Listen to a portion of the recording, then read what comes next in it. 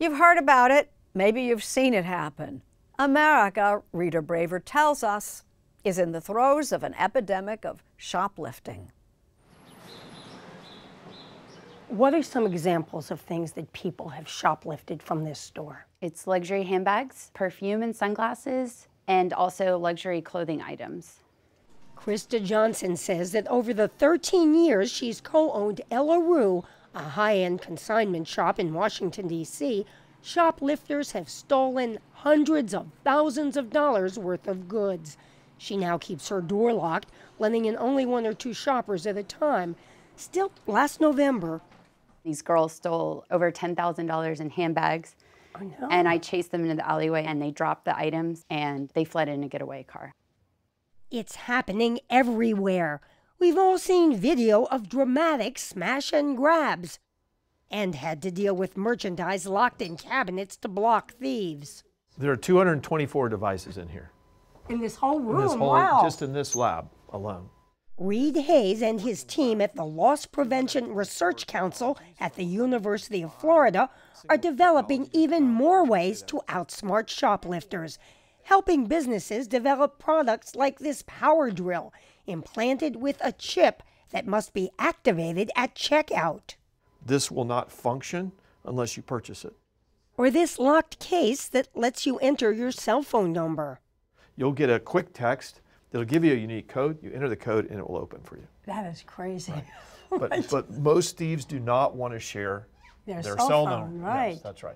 I can just pop it off. The team actually interviews admitted shoplifters to see what works. Wouldn't mess with this one. Why not this one? Because those are hard to come off. And Read Hayes says his best estimate is that 20 to 30 billion dollars worth of merchandise is shoplifted from US retailers each year.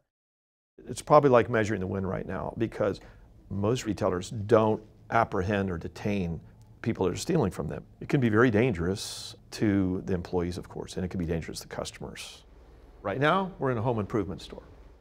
But this virtual reality setup shows that just a few simple additions can deter shoplifters. As you can see, an area of high loss items, gloves. A monitor. Uh, right, that's right, a monitor in there. And then to further draw attention, we can add in some signage in here.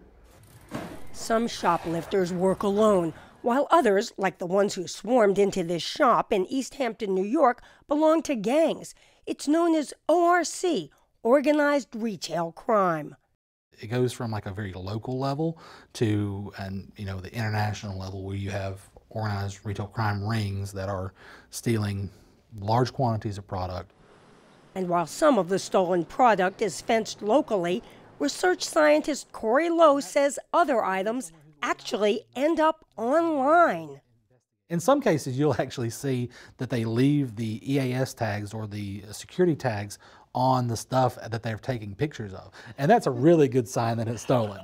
As the thieves get more sophisticated, so do the retailers, especially trying to foil smash and grab gangs. So if a vehicle comes in here and they commit a crime, um, we now have information about their vehicle, make, model, color, damage, customization, their tag number and state. If something suspicious looks like it's going on, will these machines alert personnel in the stores? They will. And while retailers say customers should not intervene, this Walmart shopper was clearly fed up. You just jacked up the price for everybody else because of